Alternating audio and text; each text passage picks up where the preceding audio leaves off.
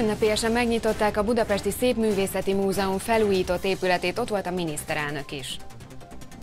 A javaslattevő szakszervezettel tárgyalnak az üzletek vasárnapi zárvatartásáról. Az első megbeszélések a napokban esedékesek. A volt miniszterelnök reméli, hogy továbbnő pártja népszerűsége legutóbb 10%-on mérték a DK-t. És már hat halálos áldozata van az Olaszországban pusztító viharnak, Velencében lezárták a Szent Márk teret.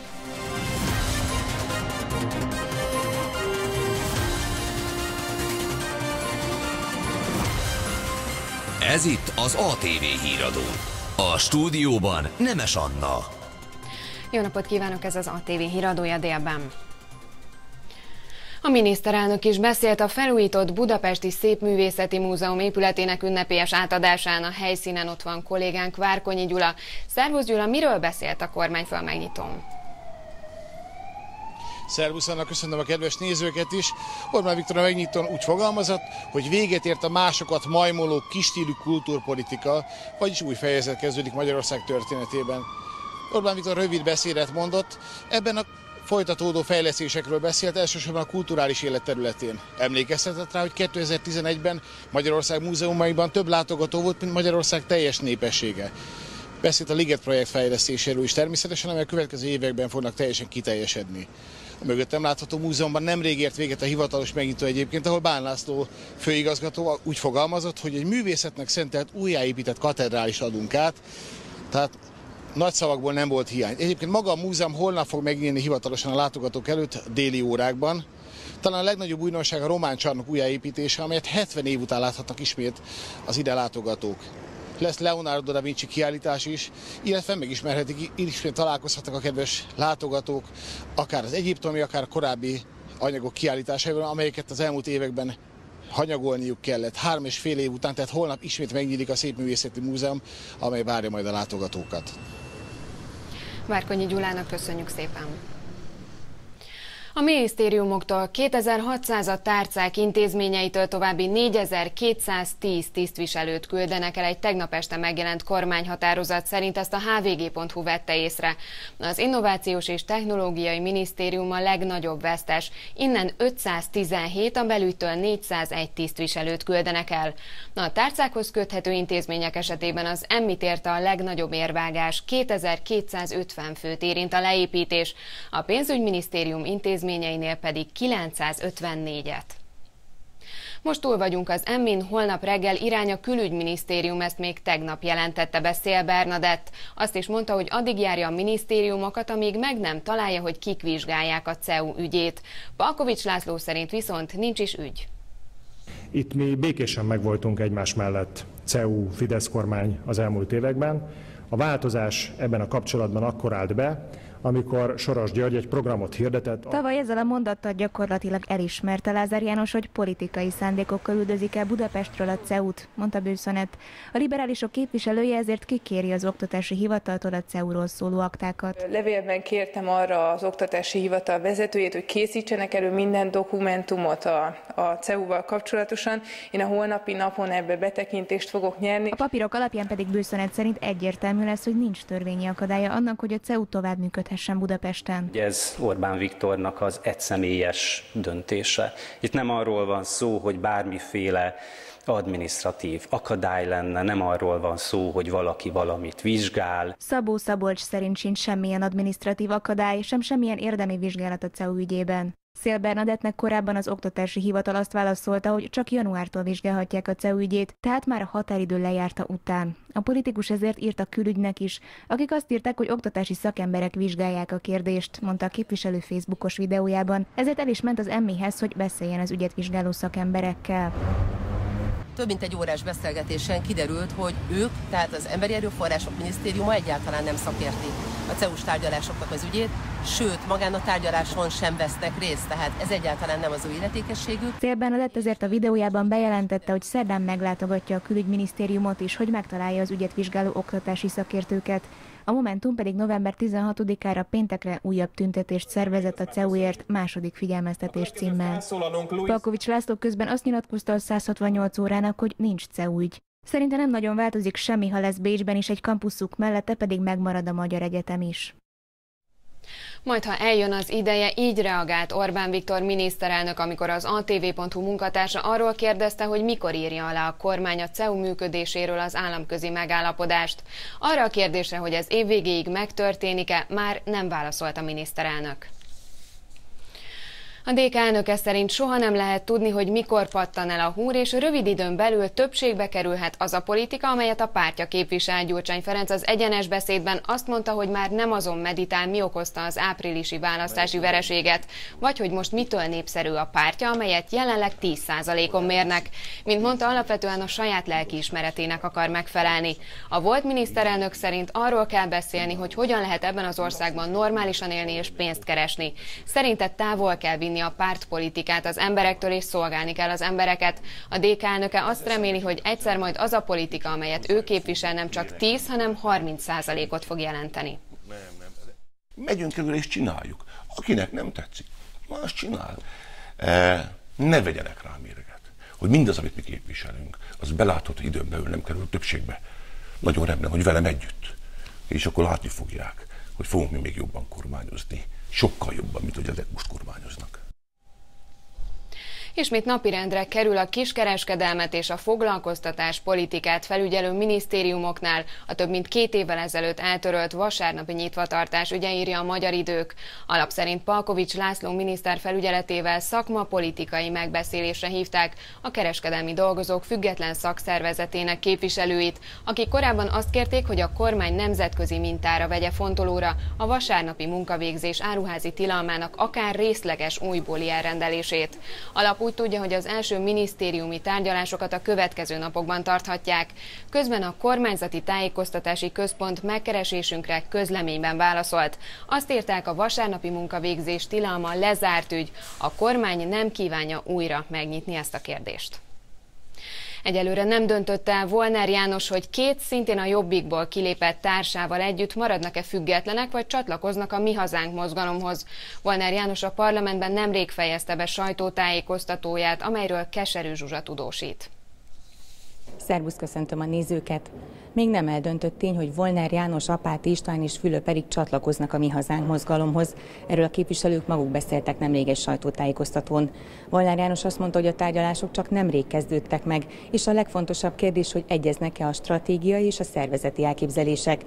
Egy olyan párthoz szeretnének ugyanis csatlakozni, amelynek van esélye az Orbán kormány leváltására.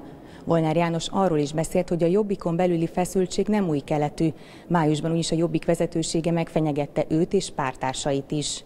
A képviselők úgy fogalmaztak, hogy a Jobbik vezetősége kiirtotta a pártból azokat a képviselőket, akik a nemzeti politizálást képviselik, ez pedig számukra elfogadhatatlan. Ők ugyanis szeretnék képviselni továbbra is a Jobbik eredeti elképzeléseit is. A képviselők azt mondták, amennyiben döntés születik arról, hogy csatlakoznak-e a Mi Hazánk mozgalomhoz, azonnal be fogják jelenteni. A szót visszaadom a stúdiónak. Már 200 ezer aláírás is összegyűlhetett hatházi Ákos kezdeményezésére, hogy Magyarország a kormányzati döntés ellenére csatlakozzon az Európai Ügyészséghez. A független képviselő erről az ATV Start című műsorában beszélt. A politikus reálisnak látja, hogy évvégéig összegyűjjön az 1 millió aláírás, de ha mégsem, akkor folytatják a gyűjtést az Európai Uniós választásokig. Hatházi Ákos úgy fogalmazott, hogy olyan ez, mint a lavina. Először csak hógolyó lesz, aztán egyre nagyobb hókupac alakul ki nem csak a nekünk beregisztrált önkéntesek gyűjtenek, hanem otthon ö, ö, olyan emberek, akiket eddig még nem találkoztunk, de majd akik most már majd kezdik hozni, tegnap az Őrsvezér téren kint voltam, és gyakorlatilag egyetlen egy óra alatt nem csak az aláírók írtak alá, hanem hozták az íveket, egyetlen egy óra alatt 600 aláírás jött be. Lakhatási támogatást nyújt a magyar kormány a vajdasági magyaroknak. Az átlátszó vette észre, hogy házanként 3,3 millió forintra pályázhattak önrész nélkül a déli határon túl Szerbiában élő magyarok. A pályázati lehetőségről szóló hír először februárban jelent meg a Vajdasági Magyar Szövetséghez kötődő Prosperitáti Alapítvány oldalán. Az újabb augusztusi pályázati közlemény szerint az első két körben 385 család jutott otthonhoz. Mindez abban vajdasági gazdaságfejlesztési programba illeszkedik, amelynek keretében 65 milliárd forint hitelt és vissza nem térítendő támogatást osztott szét a kormány. Szalmonellával fertőződnek a csecsemők hónapok óta több kaposvári bölcsödében is. A megbetegedések még a nyáron kezdődtek, és azóta már a harmadik hullámban betegednek meg a gyerekek. Öt intézmény érintett, de még mindig nem tudják, hogy mi okozta a bajt. Volt olyan szülő, aki 12 hetet volt otthon táppénzen a gyerekével. Ez az anyuka ma is félve hozta bölcsödébe a kisfiát. A gyerek ugyan még nem kapta el a fertőzést, de folyamatosan vannak új betegek, és hónapok óta nem javul a helyzet. A járvány augusztusban kezdődött, de akkor az összes vizsgált étel a negatív volt. Azóta kiderült, hogy szalmonelláról van szó, már fórumon is tájékoztatták a betegségről a szülőket, de felelőse továbbra sincs az ügynek. Tudtunk odáig nyár végére, hogy ketten meg hárman voltak egy csoportban egy nap a 15 főből tehát nagyon sokan voltak betegek, és, és én azt látom, hogy nincsen változás. Tehát, hogy nem derül ki, hogy, hogy miért történt ez. És hallottam, hogy volt ugye ez a fórum, ez a konzultáció, hogy ugyan mi lehet az oka, és mi lehet a, ki a felelőse ennek, de, de nincs eredménye. Arcát nem vállalta, de az egyik szülő arra panaszkodott stábunknak, hogy gyermeke rögtön a beszoktatás után elkapta a betegséget. Így ő úgy ment vissza dolgozni, hogy rögtön táppénzzel kezdett a munkahelyén. Egyből elkapta a szalmonellát, holott állítólag már nem volt az a bölcsödében egy hónapja új megbetegedés. Azóta meg folyamatosan van. A szülők arra panaszkodnak, hogy egy munkahelyen sem nézik jó szemmel a hetekig tartó táppénzt, megnyugtató választ pedig még mindig nem kaptak arra, hogy a fertőzés honnan indul. Nagyon nagy probléma, hogy mivel erre a hatóságok egyértelműen nem tudnak megnevezni senkit, tehát se a, a, az étkezést ellátó céget, se azt, hogy ez a bölcsödékbe valaki esetleg bevitte. Így a szülőknek a meggyőződése sajnos már az, hogy ez nem jöhet mástól, csak a, közétkeztetést szolgáltató cégtől. A szalmonella nem ritka betegség. Magyarországon évente 5-6 ezer megbetegedés fordul elő. A fertőzés leggyakrabban élelmiszerrel terjed, de széklettel szennyezett tárgyak útján is meg lehet fertőződni, így a legkisebbek vannak leginkább veszélyben. Híradónk ma hiába kereste az ANT ezt a kormányhivatalt, illetve az önkormányzatot, senki nem adott információt az ügyben. A Szántóföldön gyalogolva találták meg a mentők és a rendőrök azt a férfit, aki szombaton éjjel Győr és Győr szemerek között sodródott le autójával az útról. A balesetet szenvedett rémült sofőr a 112-es segélyhívónak nem tudta megmondani, hogy hol van, viszont erős mákasi fájdalmakról számolt be, nagy erőkkel indultak a mentésére. 60-as tábla figyelmezteti az autósokat az éles kanyarra Győr-Szemere után a 83-as főúton. A ködös szombat éjszakában azonban valószínűleg kevésbé tűnt veszélyesnek az útszakasz. Az érkező autó sofőrje nagyjából itt a 60-as kanyar előtti szakaszon veszthette el az uralmat a gépkocsi fölött. Átrepült az árkon, majd ahogy itt a Szántóföldön a nyomokból jól látszik, megérkezett kerékre a vetésbe, majd átfordult a tetejére, majd újra a talpára, és egészen a nagyjából egy kilométer távolságban lévő erdősáv széléig jutott az autó. A sárga kocsit még most nappali fényben sem könnyű felfedezni a szántásban. A baleset azonban éjjel két órakor történt. Közvilágítás nincs a földek mellett, és a sérült sem tudta a 112 diszpécserének elmondani, hol állt meg pontosan alatta az autó. Abba a dombok irányába. Boros Tamás, aki járőrként érkezett a balesethez, azt mutatja, merről próbálta először a mentők munkatársaival megközelíteni a feltételezett helyszínt.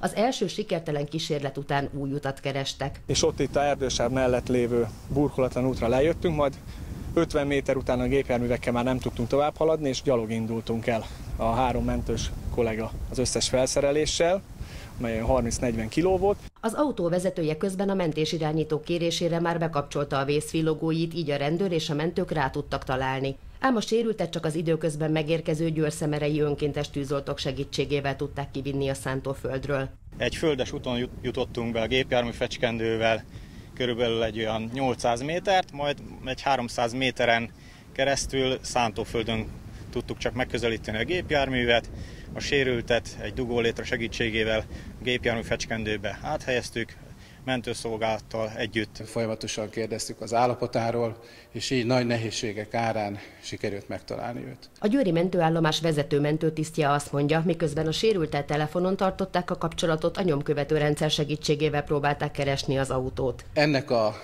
mentésnek körülbelül egy jó két-két és fél órás időtartama volt, de viszonylag könnyű melkas sérüléssel, bordatöréssel szállítottuk a Győri Kórházba a sérültet.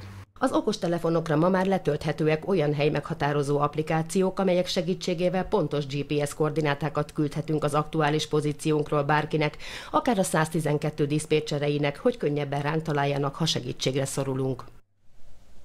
November közeletével egyre korábban sötétedik és egyre gyakrabban csúszósak az utak. A rendőrök azt javasolják, hogy az autósok mi hamarabb cseréljék le a nyári gumikat. A szakértők szerint ugyanakkor nem elég csak az autót felkészíteni a közelgő térre, a sofőröknek is jobban kell figyelniük a hamarosan megváltozó útviszonyokra. Bár az időjárás még a késő nyarat idézi, hamarosan itt a november, így egyre nagyobb kockázatot jelent az autóvezetés. Ha lehetőség van rá, akkor úgy tervezzük meg, hogy reggel már világos legyen, amikor elindulunk, és délután még világos legyen, amikor hazaérkezünk. Ez a közlekedés biztonság szempontjából egy nagyon fontos dolog. A sötétedés utáni órák mindig baleset veszélyesebbek. Az autók felkészítésének része a téli gumi felszerelése és a műszaki állapot felmérése is.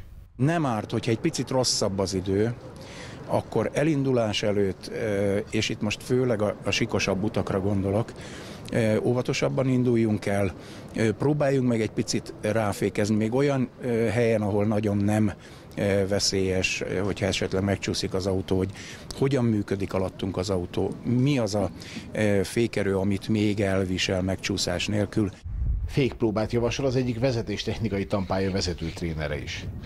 Nagyon sok visszajelzést ad arra, hogy a alattunk levő felület, itt a négy tenyérnyi rész, ez ugye csúszós, hiszen sokkal könnyebben megy a kormány. Ekkor már ugye tudatosan azt fogjuk mondani, hogy egy kanyarbevétel sokkal kisebb sebességgel, egy követési távolság sokkal nagyobb, mint amit általában ugye a tavasz végi nyári időszakban megszoktunk, mert a tapadási viszonyok teljesen megváltoznak. Csörgő László azt is bemutatta, hogy miként reagál az autó, ha a baloldali gumik futnak csúszós felületre. Nagy veszélyt hordoz az is, ha a lehullott falevelekre egy kanyarban fut rá a jármű. A közelgő téli időjárásra nem csak az autókat, hanem a járművezetőket is fel kell készíteni, különben hamar megtörténik a baj. Az ATV iradóját Várkonyi Gyula tudósította. Már tegnap kígyóztak a sorok a MÁV jegypénztárainál a hosszú hétvégére váltottak jegyet az utasok. A közlekedő tömegegyesület szerint a legutóbbi négy napos ünnepen rosszul vizsgázott a vasúttársaság, és az utasok 50 Intercity vonatra nem fértek fel. A MÁV szóvivője viszont azt mondta híradónknak, hogy figyelik az igényeket és igyekeznek minden szerelvényt útnak indítani. Kaiser Ferencné már a vasárnapi vonatjegyét is megvette.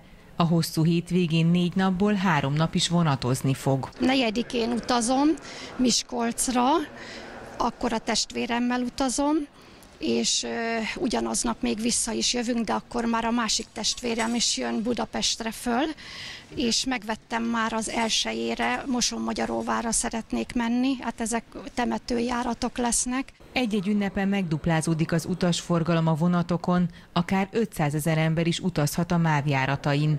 A közlekedő tömegegyesület szerint az október 23-ai hétvégén 50 intercity vonatra nem fértek fel az utasok, ezzel pedig akár három órás késést is okozhatott nekik a MÁV start. Elmúlt hosszú hétvégén is, és korábban is más hétvégéken is rendszeresen sokkal kevesebb kocsival közlekednek a vonatok, az utasok nem férnek fel, és ez amiatt van, mert a MÁV jó állapotú 200 km per órával menő kocsijai félre vannak állítva, tárolóvágányokon rohadnak. A MÁV szóvivője viszont azt mondta híradónknak, hogy a régi szerelvényeket folyamatosan újítják fel, és a forgalmasabb napokon valamennyi kocsit üzembe helyezik, de csak akkor tudnak tervezni, ha az utasok előre megváltják a jegyüket. Akkor is felhívtuk a figyelmet az elővásárlás lehetőségére, illetve arra, hogy ha online vásárolják meg a jegyüket, járnak ezek a kedvezmények, és talán pont az elmúlt hétvége tapasztalatából mondanám azt újra, hogy érdemes esetleg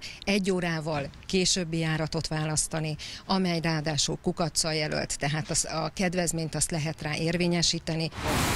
A Budapesti Közlekedési Központ is készül a megnövekedett forgalomra. Érdemes a hétvégén a Kossuth Lajos utcát elkerülni. A BKK-nál azt mutatják, hogy mire érdemes figyelni azoknak, akik a temetőbe szeretnének eljutni. Megnövekedett autós forgalomra kell számítani, ezért érdemes a közösségi közlekedést igényben venni, ugyanis a temetőkbe korlátozhatják a behajtást, illetve a temetők környékén a parkolást is.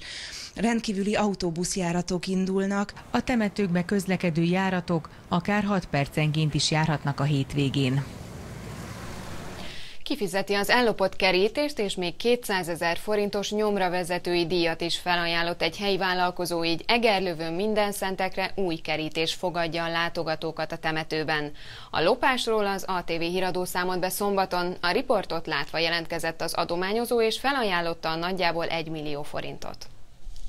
Hát az alátétek még megvannak, úgy látom. Az alátéteket ott hagyták, de a csavarokat már magukkal vitték a tettesek, így néz ki most az egerlövői temetőkerítése. Csak az oszlopok állnak, a köztük lévő elemek hiányoznak. Tavaly néztük, hogy huaj, de gyönyörű szép kerítés van. A tolvajok fényes nappal a déli órákban érkeztek ide egy személyautóval és egy tehergépkocsival.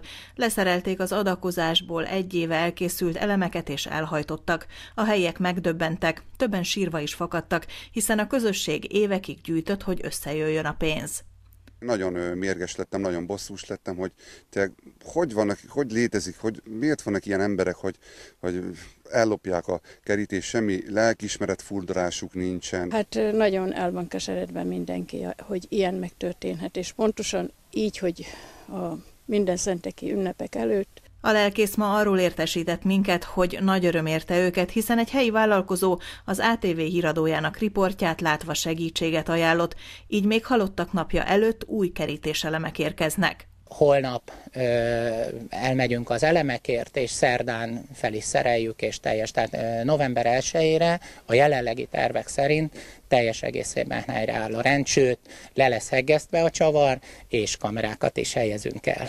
Ha pedig a nyomra vezetői díjnak és a rendőröknek hála előkerülnek az ellopott elemek, akkor azokkal bekerítik a temető további részeit is. Hatan életüket vesztették Olaszországban a heves viharok és áradások miatt az ítéletidő miatt hat tartományban rendelték el a legmagasabb fokú riasztást. A Velencei Szentmárk teret kiürítették, mert dagálykor a tenger vízszintje 156 cm-rel emelkedett a Canal Grande déli bejáratánál lévő alappont fölé, amire tíz éve nem volt példa. Az emberek nem is a pandák örülnek a korai télnek az észak-kelet kínai Harbin városában. Csúszkáltak, hempergőztek és még labdáztak is a hóban. Gondozójuk szerint a hó elfedi azokat a szagokat, amiket korábban éreztek a talajból. Ez pedig izgatottá teszi őket, ezért is tűnnek annyira vidámnak. Vastag bundájuk miatt egyáltalán nem fáznak, inkább úgy érzik, mintha egy puha matracon játszanának. A híradó végén az időjárás jelentés Gánói mi mondja el a részleteket. Szervusz Noémi!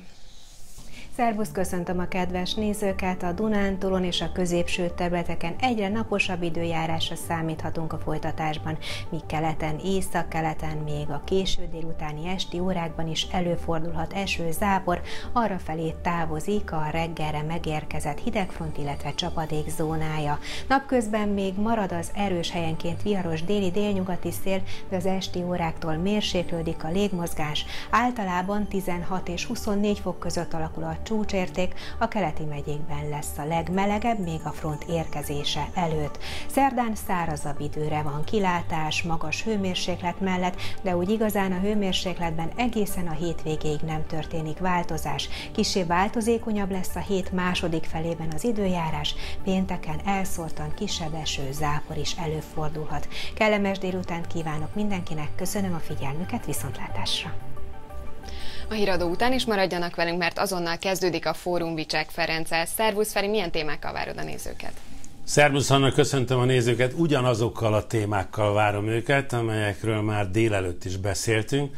Ezek közül talán a legnépszerűbb, hát idézőjelben mondom, ez a 440 haláleset volt azzal kapcsolatban, hogy kórázi fertőzésben ennyien haltak meg 2017-ben, tehát az elmúlt évben. Ennek kapcsán fontos megjegyezni, hogy hiába perli a társaság a szabadságjogokért a kormányzatot, hogy mondja meg, hogy mely kórházakban voltak többen áldozatok, ennek a fertőzésnek az áldozatai. mert hogy ezeket az adatokat nem lehet megszerezni. A másik témánk pedig a hadsereg számának növekedése volt, ugye erről beszámolt a híradó is. Itt váraton 8000 fővel nő majd a hadsereg száma a parlament döntése nyomán, és hát ennek kapcsán, hogy most akkor ez miért fontos, tényleg nő a veszély, vagy más oka van, erről beszélgetünk, és a harmadik témánk pedig a boltzár, amiről szintén volt szó a híradóban. Ennek kapcsán az az érdekes, hogy a napi rendre került ez a téma, annak ellenére, hogy hát ugye sokan úgy tekintették, hogy ez, ez már egy lefutott ügy, és hát arról vitatkoztunk, hogy ez most gumicsont, vagy pedig tényleg indokolt, hogy pihenhessenek az ebben a szektorban dolgozók. Ezeket javaslom tehát most is. Köszönöm szépen, Feri. Most tehát a híradónak vége, de azonnal kezdődik a fórum. Maradjanak velünk, nézzék továbbra is az ATV-t. Én pedig mára megköszönöm a figyelmüket, legyen nagyon szép napjuk viszontlátásra!